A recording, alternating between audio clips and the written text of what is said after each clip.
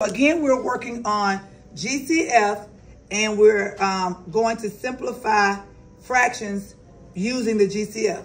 So remember, it's GCF, greatest common factor, T-chart, factor, factor, circle the largest number.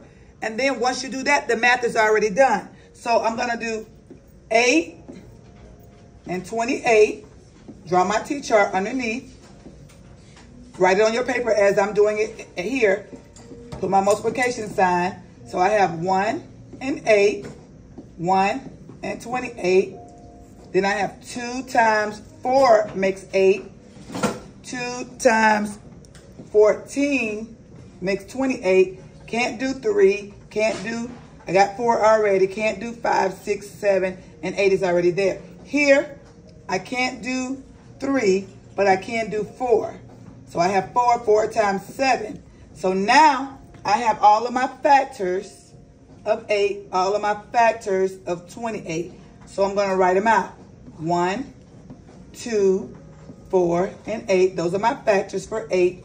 1, 2, 4, 7, 14, and 28 are my factors for 28.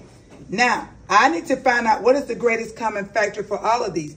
I see I have one, I cross that out, two, and then I see that four, I'm circling it because that's my greatest common factor. Now I need to put this in simplest form. The math is already done. So 8 divided by 4, I already have it right there, 2. And then 28 divided by 4, I already have the answer right there, 7. So in the simplest form, that answer would be 2 over 7.